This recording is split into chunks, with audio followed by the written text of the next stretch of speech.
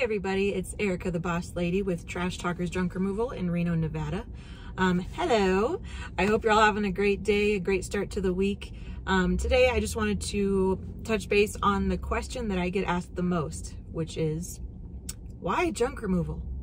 And I know that I get asked this question quite a bit, mainly because I'm a female. Um, I didn't really think much of it when uh, you know, I started looking into this type of business um, as far as it being, you know, somewhat male dominated.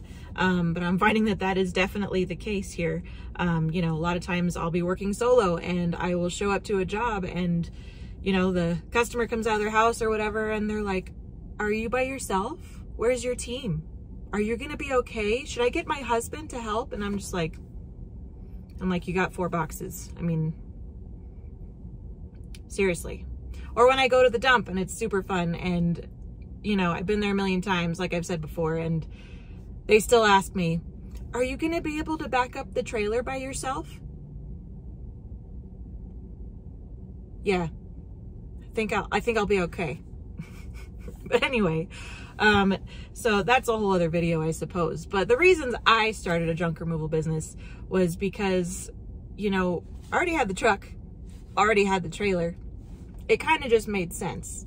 Um, you know, my, uh, the job that I had been at for four, almost five years, um, you know, it was coming to an end. And, and I was like, well, how can I work for myself? What can I do to get started right now and have some fun, have some freedom, you know? And so of course, everybody goes to YouTube for everything, right? And I came across junk removal. And so I started looking into it. And of course, like many of you, watched hundreds of hours of videos, I'm sure. And, um, you know, it just, it clicked. I'm like, why wouldn't I do it? Why not? And, you know, so the hubby and I, we created some goals and um, pretty soon he will be joining me full time as well. Um, and so I'm pretty excited about that, that I won't necessarily have to do it by myself because, you know, jobs go a lot quicker when you're not alone, right? So, but yeah, freedom. That's that's the big one for me, freedom. I can make it to all of my kids' school functions. I can drop them off to this or that. We can make doctor's appointments at any time of the day and not have to put in for time off and things like that. Um, freedom is huge um, and in, more ways than one. It's not just freedom with your time, it's freedom financially. Um, you know, you can make as much money as you want to make. If you only want to work two hours in a day, go ahead. If you want to work 12 hours in a day, go ahead. Nobody's going to stop you. Um, so it's all up to you. What about you guys?